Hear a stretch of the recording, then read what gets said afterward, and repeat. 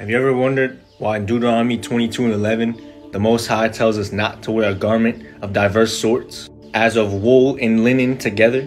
After finding this out, I invested in a bunch of linen clothes for my health. Studies show that different fabrics give off different frequencies that can be measured in megahertz. Organic cotton, for example, has a tested value of 110 megahertz.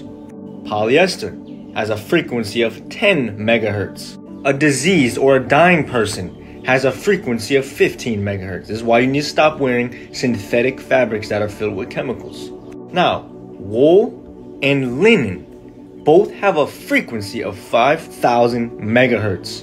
And studies show that wearing these natural fabrics can actually improve everything from your mood to your skin and your blood circulation, and have tons of other wonderful impacts on the human body.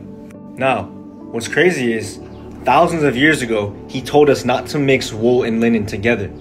And studies literally show that when you mix wool and linen together, the two frequencies, the 5000 and the 5000 from the wool and the linen, cancel each other out and it drops to zero, meaning you would not get the beneficial frequencies of that fabric.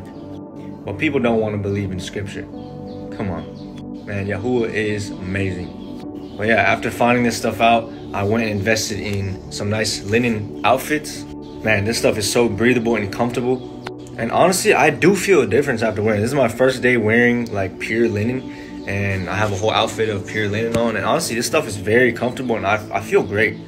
I also highly recommend throwing out all of your polyester clothing because it is actually destroying your health and bringing your body to a low frequency, even of that of a dying and diseased person.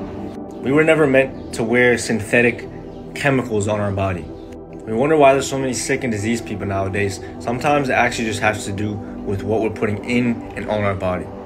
Switch to everything natural. Your body is a temple and your health matters. This is 3 John 1 and 2. Beloved, I wish above all things that you may prosper and be in health, even as your soul prospers. Hallelujah. Barak Yahuwah. Shalom. I'll see you guys in the next video.